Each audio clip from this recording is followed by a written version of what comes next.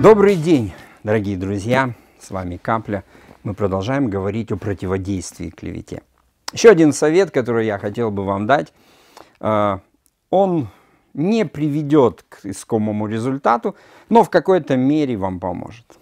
Когда вы слышите э, клевету в свой адрес, когда кто-то начинает говорить о вас э, негативные вещи, я советую вам публично э, сделать предложение о встрече для того, чтобы урегулировать э, проблему. И, скорее всего, вы не будете услышаны, потому что, как я уже много раз говорил, клеветник не заинтересован в том, чтобы найти истину, помочь вам и каким-то образом разрешить эту ситуацию. Он свое дело сделал, он запустил слух, он запустил неправду или правду, но негатив, и он считает себя а, правым.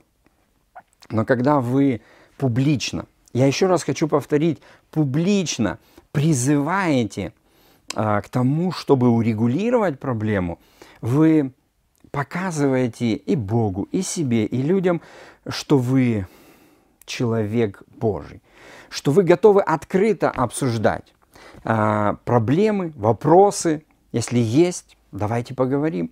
Вы знаете, когда в мой адрес ополчились люди, стали говорить те или иные вещи, то я лично обратился к ним через посредников, и потом я написал письма и разослал всем людям, которые задействованы в конфликте, и предложил встретиться. Я даже объявил день, в который я всегда, весь день буду находиться по данному адресу, и я приглашаю всех прийти, позвонить и начать разговаривать.